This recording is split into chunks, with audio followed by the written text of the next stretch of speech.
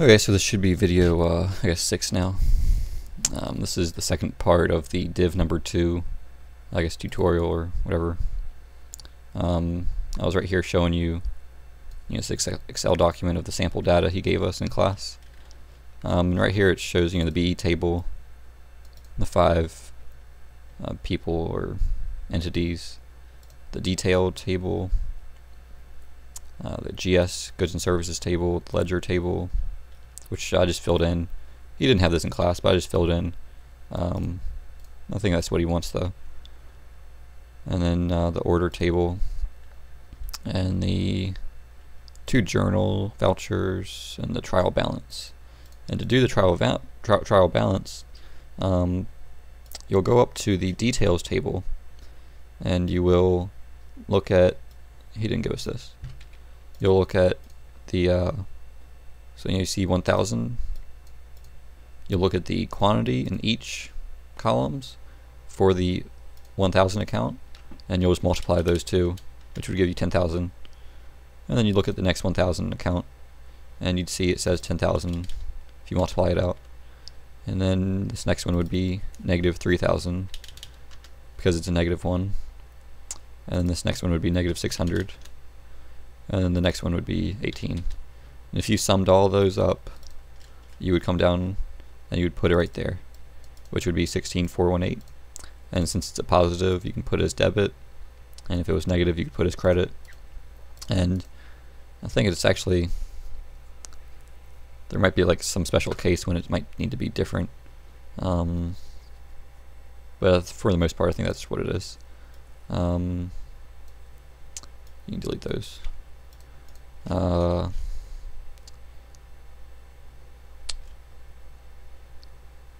see. But yeah, you'll need to you know, kind of use this, kind of go through it and see what the 3000 is in the ledger account table, which would be owner's equity, and see kind of what it, what what it means. So it you probably bought something, I guess, or went to owner's equity. Um, and you can look at you know what what this is over here, the goods and services. You can see when someone rents a DVD, Harry Potter DVD, or when someone buys something or whatever, um, or when he's doing rent cost. And you can just kind of look at that and kind of come up with your own sample data, your own data, I mean, for uh, all this. But you can kind of work off of it and dissect it and use it uh, as you will. Um,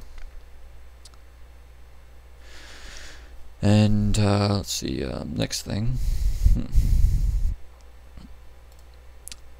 The trial balance prepared from the details in the sample. Uh, so go to go to the uh, spreadsheet again, I guess.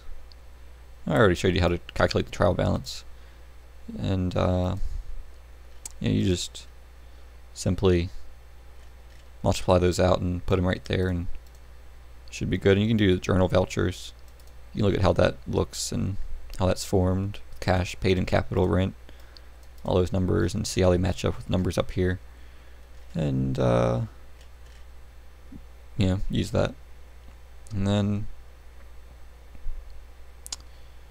if you go to uh, the image on the whiteboard uh, for the trial balance, you can look at that if you want. It's, it's exactly what's in the Excel document though, but you can look at it if you want. That's just what he wrote. Um, you can also, okay, so the, those are all the components, I guess, of div number two. Um, quick overview of it, though. You know, this is kind of what you're supposed to submit um, as like a PDF cover sheet. Should be maybe page one. A brief overview describing project number one could be page two. Use case diagram could be the next page, class diagram, database ERD, uh, data dictionary, tables populated with sample data, and then a trial balance, and I suppose the three journals as well. Uh, that could be page 8 maybe, something like that. And you could make it as a PDF, which if you want to you could use, um, you know, there's many methods to make a PDF.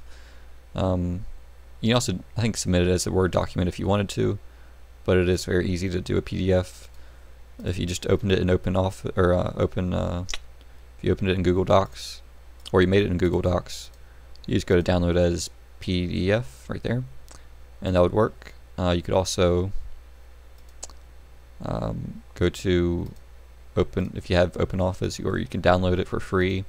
Um, the Open Office Writer is all you really is all you need, so you don't have to install everything that comes with Open Office. You can just install the Open Office Writer, and once you're done making it, uh, you can just say, click this button right here, and export directly as PDF, and it's very very easy. Uh, you can open up, you actually make it in Microsoft Word if you wanted to, and just open up a Microsoft Word document uh, from OpenOffice Writer.